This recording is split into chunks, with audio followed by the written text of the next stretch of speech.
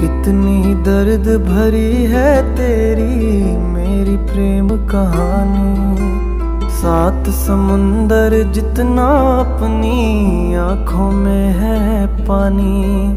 मैं दिल से दिल मुझसे करता है जब तेरी बातें। सावन आने से पहले हो जाती है बरसातें। ओ घर आजा परदेसी।